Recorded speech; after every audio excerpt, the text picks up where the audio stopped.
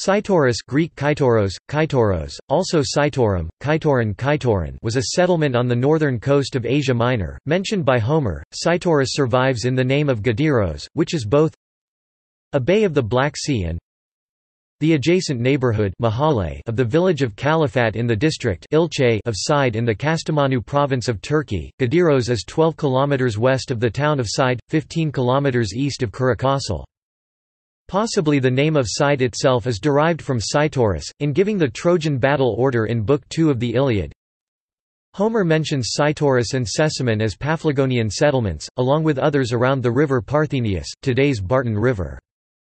Sesamon is today's Amasra. This town was Amastris for Strabo, who writes of its founding through a union of Cytorus, Sesamon, and two other settlements. He reports that Cytorus was the marketplace of Sinop and was a source for boxwood.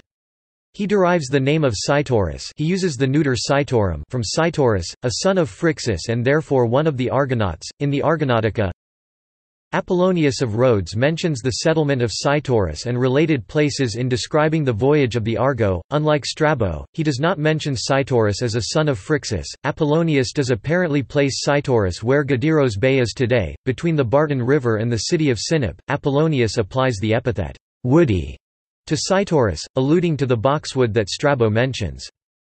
In the fourth of the Carmina, Catullus addresses box tree-clad Cytorus, while in the Georgics, Virgil says, Fain would I gaze on Cytorus billowy with boxwood.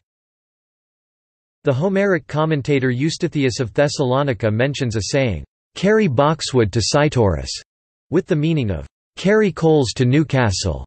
Strabo's etymology notwithstanding, Bilge Umar finds the origin of the name Cytorus in the Luwian for big wall. There is also reported a folk etymology for the modern name of Gideros, based on its resemblance to the Turkish Gideras we go.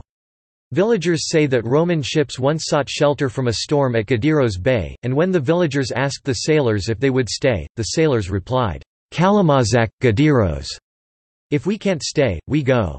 Pleased at the prospect of not having the Romans around, the villagers called the bay Gideros.